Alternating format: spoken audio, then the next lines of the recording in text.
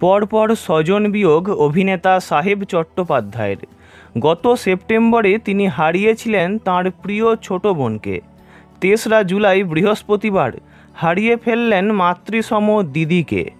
প্রিয় মানুষদের হারিয়ে স্বাভাবিকভাবেই নীরব হয়ে পড়েছেন সাহেব। কাছের মানুষকে হারিয়ে ফেলার দুঃখ ভাগ করে নিয়েছেন অনুরাগীদের সঙ্গে। সমাজ মাধ্যমে সাহেব লিখেছেন গতকাল সকালে দিদিকে হারিয়ে ফেললাম। যেখানেই থাকুক, ভালো থাকুক। সকলে এই প্রার্থনা করুন।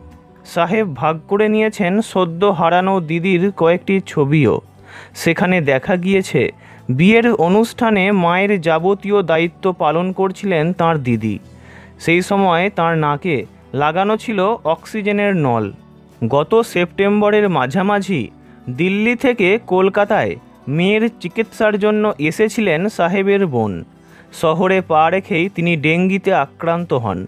সেই সময় সমাজ মাধ্যমে বোনের জন্য রক্ত চেয়ে পোস্ট করেছিলেন অভিনেতা। কিন্তু শেষ রক্ষা হয়নি। দিন দুই রোগের সঙ্গে লড়াই করে চির বিদায় নেন তাঁর বোন। বয়স হয়েছিল মাত্র চল্লিশ। সেই সময় সাহেব জানিয়েছিলেন, আমি বুঝতেই পারলাম না কি ঘটে গেল।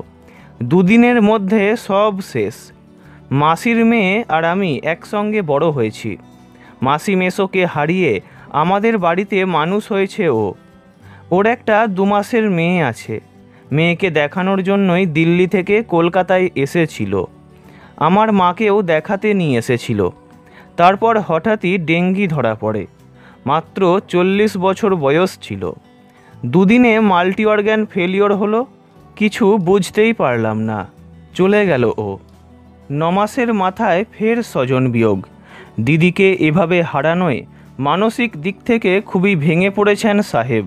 তাই সম্ভবত ফোনে তিনি অধরা। ভিডিওটি এই পর্যন্তই। বিনোদন জগতের সব রকম খবরাখবর জানতে চ্যানেলটি অবশ্যই সাবস্ক্রাইব করবেন। ধন্যবাদ।